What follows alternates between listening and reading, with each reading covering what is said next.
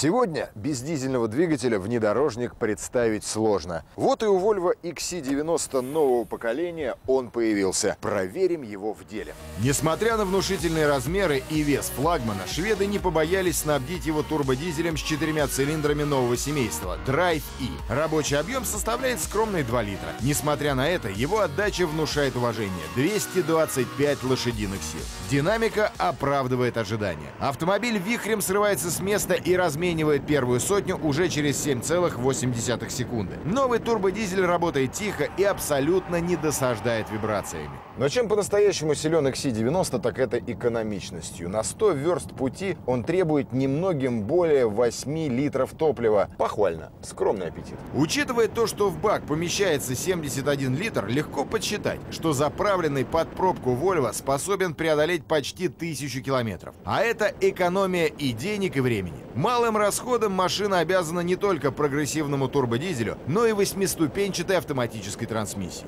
Как обещают в компании, несмотря на малый размер нового двигателя, его ресурсные возможности такие же, как у других проверенных временем моделей. Салон во многом необычен. Да что там, интерьер запросто можно назвать прорывным. Такого прогрессивного подхода в оформлении от сдержанных скандинавов никак не ожидаешь.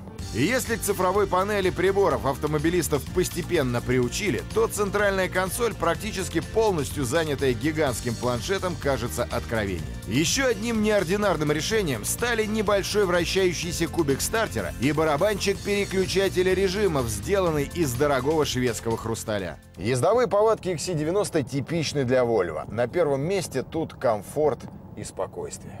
Машина едет спокойно, с достоинством, не провоцируя водителя на агрессивное вождение. Легкий руль, высокая плавность хода. Ее, кстати, обеспечивает впервые появившаяся пневматическая подвеска. Благодаря ей дорожный просвет можно увеличить до внушительных по меркам этого класса 267 мм. С приподнятым над землей кузовом Volvo обретает повышенную проходимость. Вот только вряд ли владелец машины ценой более 3 миллионов рублей будет ездить по серьезному бездорожью. Мне дизельный XC90 понравился больше бензинового. Потери в динамике минимально, а выигрыш в экономичности солиден. Конечно, сегодня дизель вне конкуренции.